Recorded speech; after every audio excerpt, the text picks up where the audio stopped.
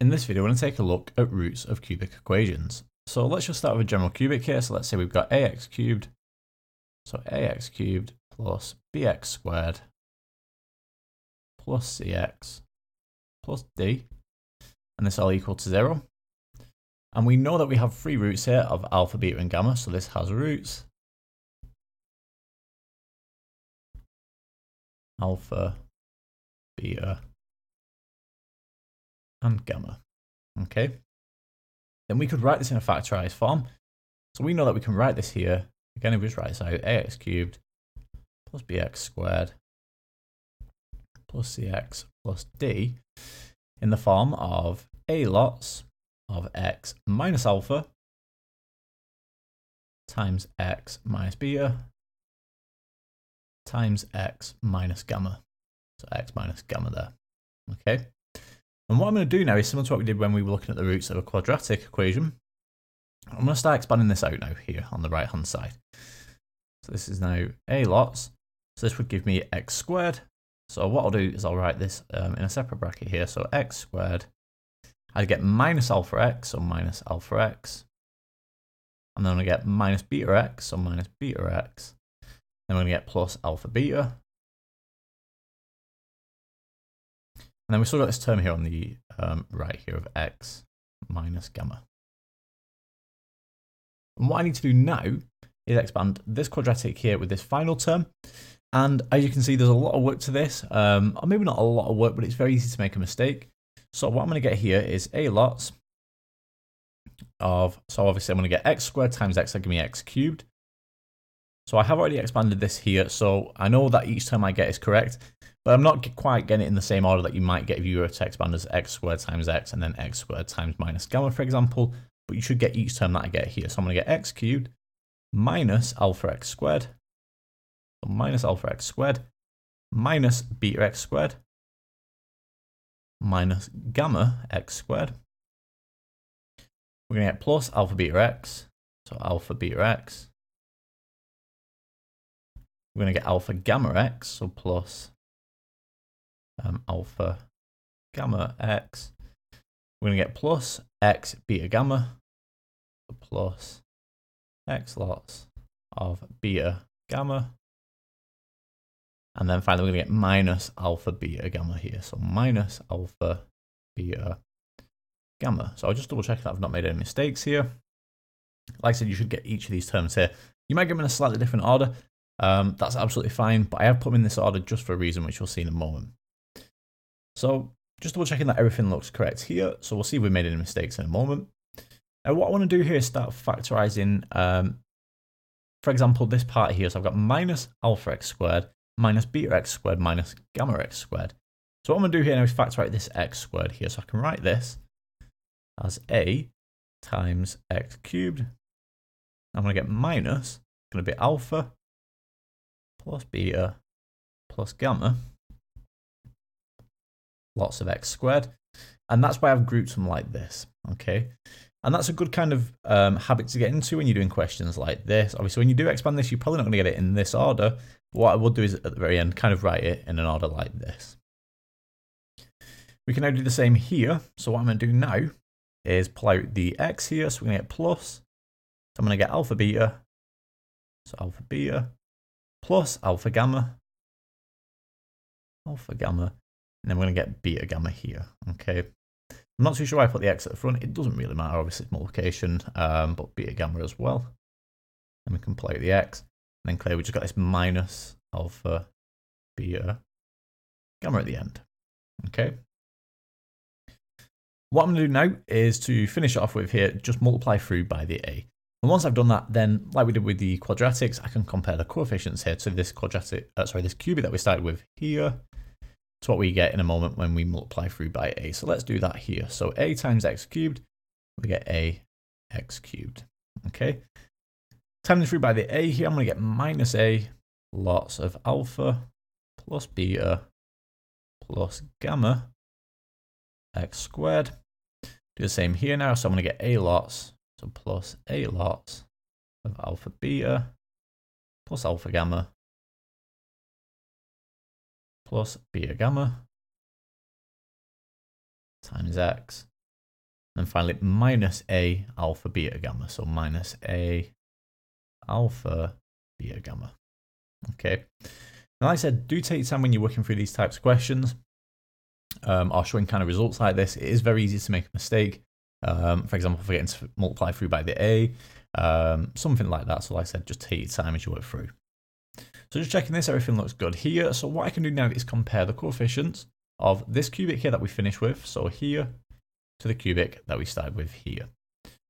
So then a obviously ax cubed is just ax cubed. b here now, so b we can say b is equal to minus a times alpha plus beta plus gamma x squared. Okay, so b is equal to minus a times alpha plus beta plus gamma. So I know I said x squared. We're not obviously bothered about the x squared. We want the coefficient of x squared, which in this case is minus a times alpha plus beta plus gamma. We'll simplify that in a moment. Let's just figure out what c would be here. So c will be equal. So that's cx. That's going to be um, alpha. Uh, sorry, a times alpha beta plus alpha gamma plus beta gamma. So that's going to be a lots of alpha beta plus alpha gamma plus beta gamma. Okay, and then finally we've got d here, which I'll do over here. So d is going to be equal to, that's the term at the end here, which in this case will be minus a alpha beta gamma.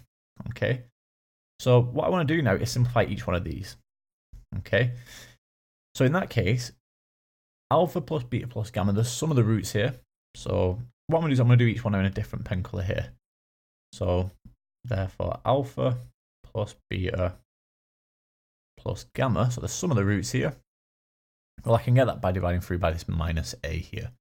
That would be equal to b over a, and then obviously we need the minus in front. So minus b over a there. So that's sum of the roots. Here now, so for alpha beta plus alpha gamma plus beta gamma, so let's just write that out here. So alpha beta plus alpha gamma plus beta gamma. That's going to be given by c over a. That's c over a. And then finally for d here, um, or the product of the root set alpha beta gamma, and that's going to be minus d over a. So alpha beta gamma, like we said, that'll be minus d over 8 there. Okay. So there's a lot of work on that screen, but the three results that we're concerned about here, what we've got in red. So we need this result here. That's minus b over a. So that's the sum of the roots. Then got this one here for alpha beta times alpha gamma plus beta gamma, which is c over a. And then finally the product of the roots here, alpha beta gamma, that's minus d over a. Now what you can see here is deriving the result for a cubic is a lot more work than it was for a quadratic. So in an exam, you don't really want to be deriving this result. It will take quite a bit of time.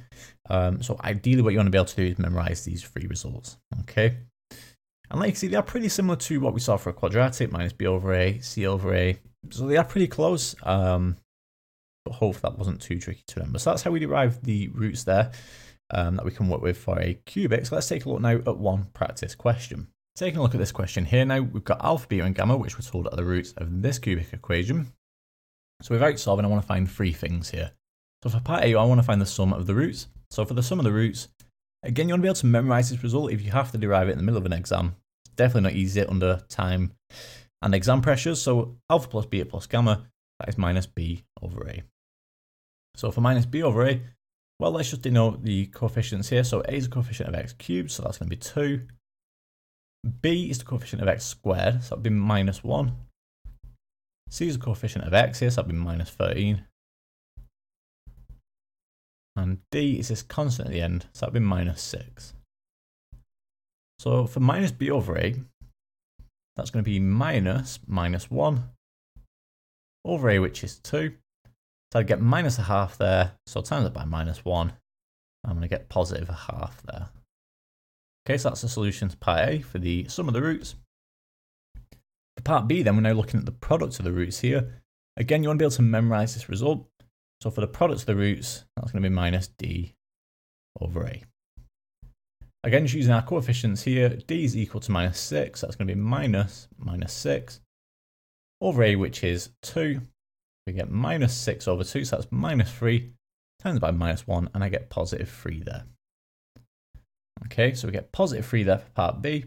And then for C, then what I'm looking at now is the sum of the reciprocal of the roots. So in this case, what we need to use is pretty much anything that we can to get some kind of expression like this.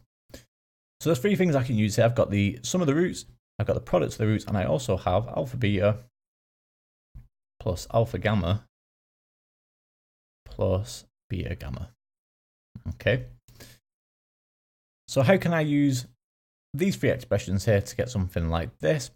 Well, if I think about it, if I use this here as my numerator, so I've got alpha beta plus alpha gamma plus beta gamma. And now I divide this by the product of the roots here, so alpha beta gamma.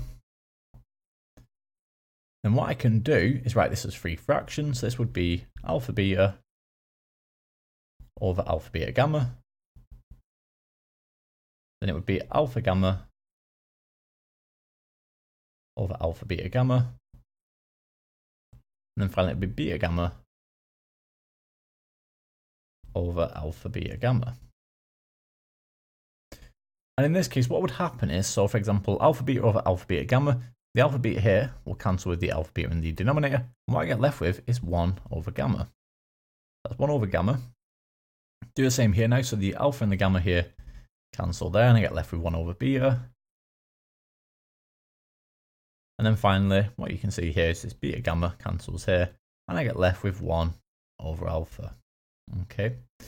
So obviously you don't need to show this part, but I want to show why this works and why 1 over alpha plus 1 over beta plus 1 over gamma is just the um, numerator here, alpha beta plus alpha gamma plus beta gamma over the product here, so alpha beta gamma. So in that case, alpha beta plus alpha gamma plus beta gamma, we know that that's going to be C over A. So if we work that out first, so that's going to be C over A. So in this case, that's going to be minus 13 over A, which is 2. So I get minus 13 over 2. So that's going to be minus 13 over 2. And then we divide that by alpha beta gamma, which we know um, from part B is equal to 3. So we divide that by 3. So minus 13 over 2, divide that by 3. That's the same as times it by 1 over 3. So in that case, what I'm going to get here then is minus 13 over 6. Okay, and that's my solution to part C. Okay. And then we have it, so that brings the end of this video on roots of a cubic equation. In the next video, we're going to take a look at the roots of a quartic equation.